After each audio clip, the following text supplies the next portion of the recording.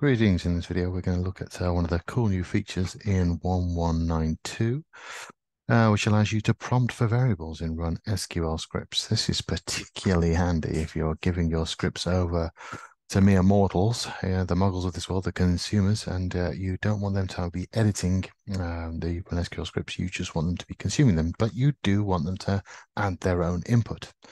So in this simple example, we will look at um, looking at users who've not logged in for X days. So these are IBMI users that have not uh, logged in for a number of days. And typically in the past, when you had an SQL, in this current date minus, you'd have put something like, I'm interested in someone who hasn't logged in for 100 days. So that would return back the variables for anyone who has not logged in, in for at least the current date minus 100 days and you could change that to you know 10 months or one year or whatever. This is standard sql but in this case we can replace that constant with a, a, parameter a prompt. Just put a question mark instead. And now when you run it it says okay could you tell me uh, what it is you're interested in? It tells you in this case it's a decimal we what's after. So there's no point in typing in the number one spelt out yeah O-N-E.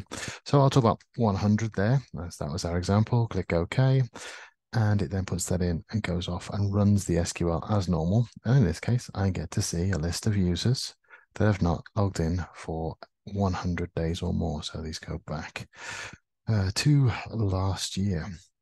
Looks like I might need to tidy up some of my users, ladies and gentlemen, on this here demonstration box. Hope that's useful.